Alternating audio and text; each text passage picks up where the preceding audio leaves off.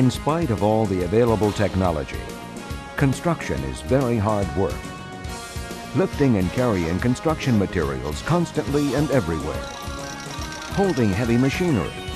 Stooping and bending all the time. Working overhead or kneeling down. Strain from early morning into the night. In the heat and cold. In the rain and covered with dust. To top it off, there's the noise, the hectic pace, the stress. Making these jobs easier and safer.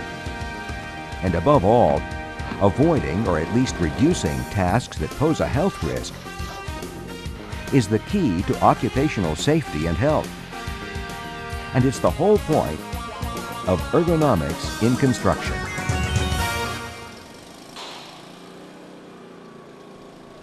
Today, ergonomics plays an increasingly important role in construction. Around the world, researchers at universities, in government, and in the construction industry are looking at how workers perform tasks and studying the effects.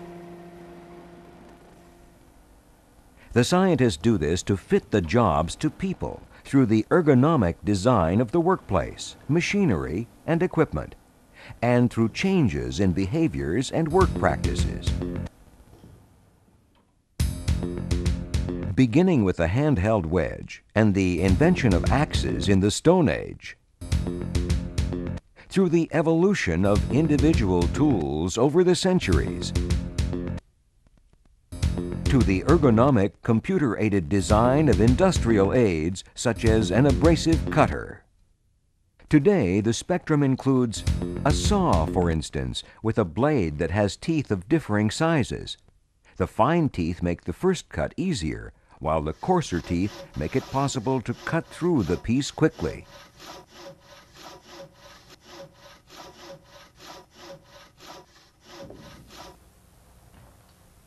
Another example is this gadget used by a floor tiler. Using this tool, the tiler no longer has to do the job on his knees. With the aid of a vacuum lifter, he can lay tiles one after another while standing comfortably. He can lay the tiles quickly and they fit exactly. And then there are more complex solutions, like the cab in a construction vehicle, which was designed not only to help do the job, but also to meet the needs of the person sitting in it, because the person who works in an ergonomically designed cab is more efficient and more productive.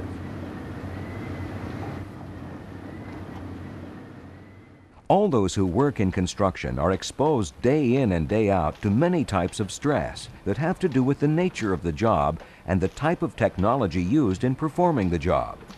These stresses are the result of working conditions that apply to a particular job, plus the overall conditions on the construction site. Workers are exposed to many different kinds of stress. Physical stress, for example, straining the muscles and the spinal column lifting and carrying heavy loads, working under cramped conditions. Mental and psychological burdens, particularly in stressful situations. Vibration stress, for instance brought on by working with a jackhammer, where vibrations and sound waves can damage the hands and hearing.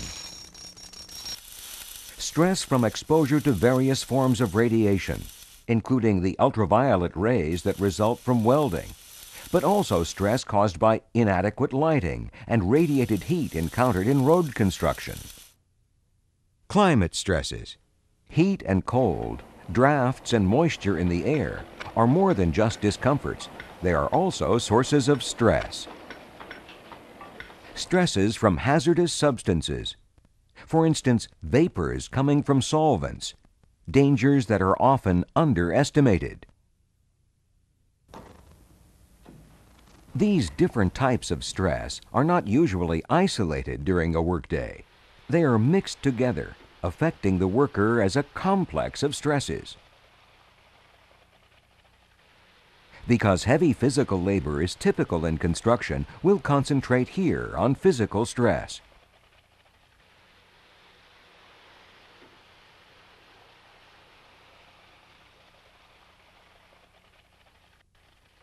It's important to know that no stress affects everyone in the same way. For instance, a job that's difficult for an apprentice may be easy for an experienced worker, like child's play.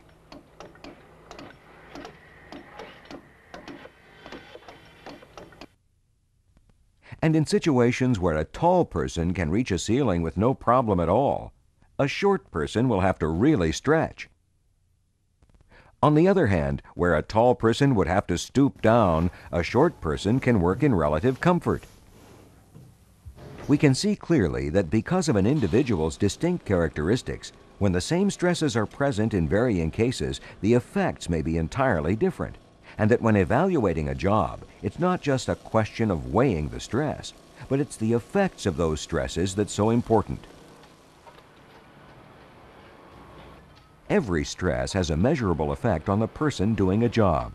In construction, physical stress and its effects are quite common. This should not cause any problems, as long as working conditions are okay, or at least reasonably acceptable. It gets to be a problem when employees are so severely stressed, so affected by stress factors, that the job suffers and the worker's health could be endangered. That's why industrial hygienists and other researchers go to the construction site to record work practices and levels of stress. In clinics, doctors specializing in occupational medicine examine workers to detect the effects of wear and tear and to determine if there are health effects from job stresses.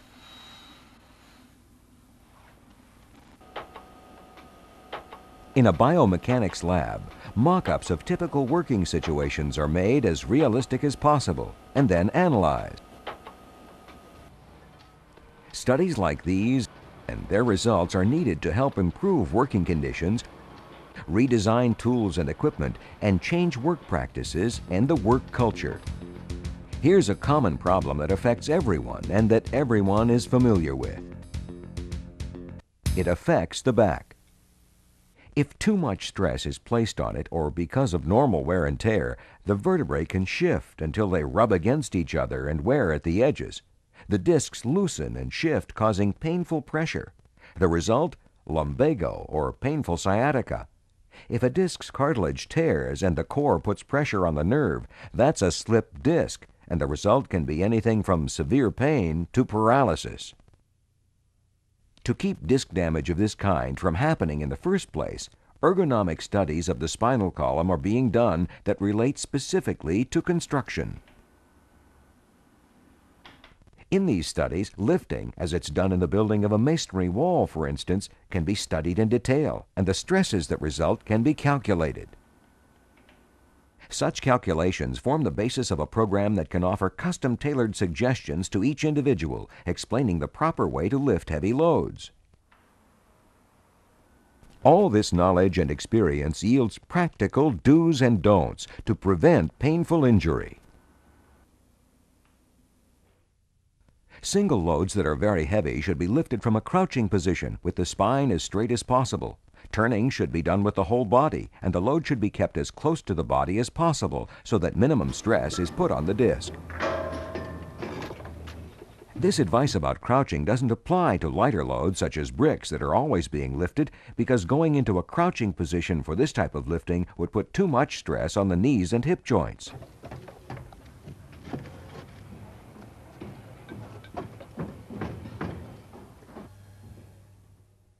When lifting and carrying, distribute the loads across both arms if possible. And if it gets too heavy, don't be tough and risk an injury. Get someone to lend a hand.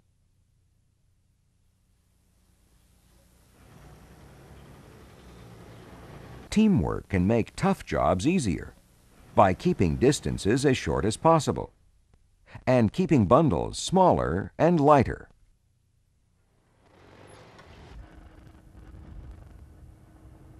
Of course, there are now industrial aids to make things easier. Today, there's a huge variety of machines and devices on the market, some in Europe and some in the United States. We'll demonstrate a few of them here, as they are used on the job every day. With this stair climber, for instance, loads that are as heavy and bulky as a disassembled boiler can be lifted by one person, one step at a time. and transported farther without a problem. The worker doesn't have to lift or carry any heavy loads, doesn't tire as quickly, and stays healthier longer.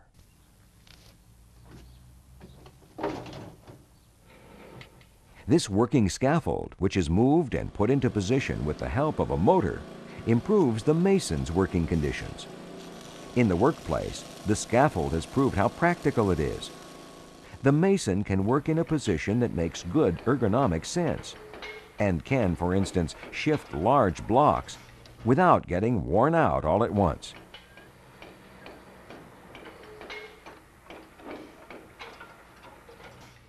Even in public works, there are now machines that make it possible to move whole layers of sidewalk sections from their stacks to where they're going to be laid, where they can then be positioned with precision to within a fraction of an inch. By making good use of mechanization, the job can be made easier and efficiency can be increased.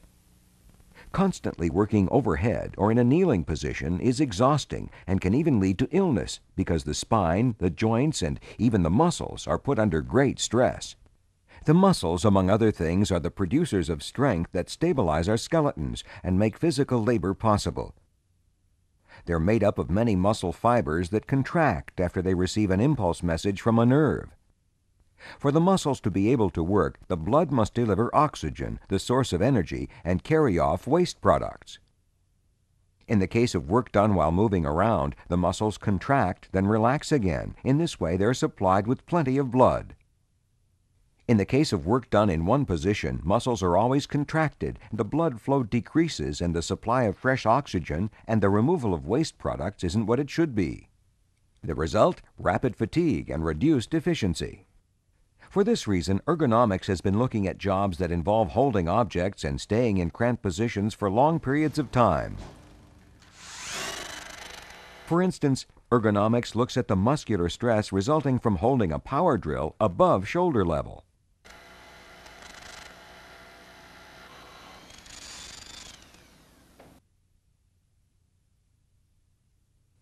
These studies led to the building of this drill rest, which makes drilling into ceilings much easier, making it possible to drill one hole after another without tiring.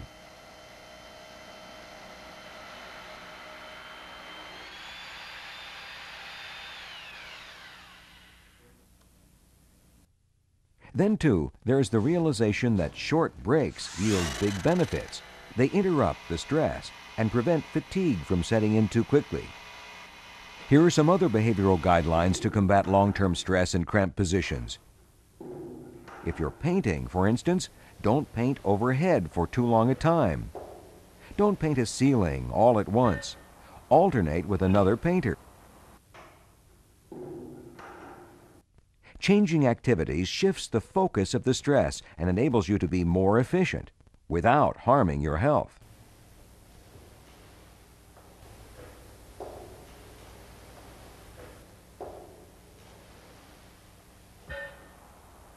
Another example, when laying tiles or other types of flooring while on your knees. It's a good idea to stand up once in a while and stretch to get out of that cramped position and take the strain off the spine. Of course, the knees should be protected by suitable padding.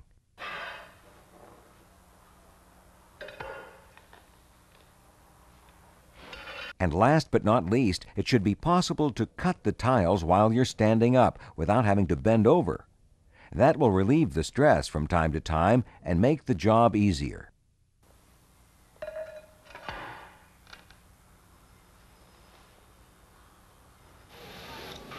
Iron workers have to bend again and again to tie in the steel for reinforced concrete. This constant stress can be avoided by an iron tying device when fitted with steel clamps, the unit weighs just about four and a half pounds, and it's easy to work with. Without having to bend down at all, the iron worker ties in the iron of the upper part of this ceiling quickly and securely.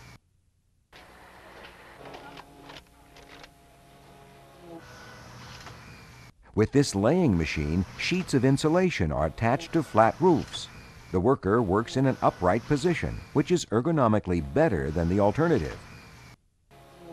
This approach relieves stress from the worker's back, shoulders, and arms and helps improve efficiency. Even in masonry jobs, there are many possibilities for sparing the back from constant bending and stooping.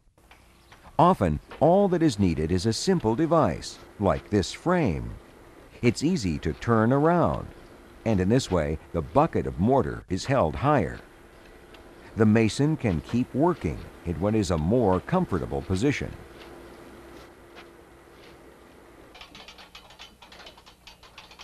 Then there are mason scaffolds that can always be adjusted to the proper position. They're equipped with two platforms of differing heights. The masons stand on the lower one, and the mortar buckets and the bricks are placed on the higher one so that they can be reached easily, and so that the back is not subjected to excessive stress.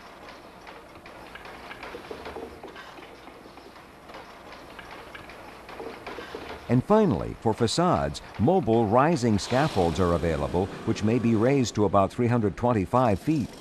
These scaffolds can transport the masons with their materials and equipment. The platform is brought into the proper position right down to the last couple of inches, and it has two levels so that no one has to do any bending. The upright position makes work easier and increases efficiency. We have seen a few examples of techniques that can be used and of industrial aids that have proved their value from an ergonomic standpoint. Development is ongoing and will bring new solutions to familiar problems. If we are to solve these problems, the employer must provide available tools and fulfill a responsibility to protect the health of the employees. And all workers must use ergonomically designed tools that are provided and use the tools correctly. By designing the workplace to meet the needs of the people working there, working conditions will be improved. Workers will remain healthy. Work at the construction site will be made more efficient, and above all, the work will be more attractive. That is and continues to be the essence and purpose of ergonomics in construction.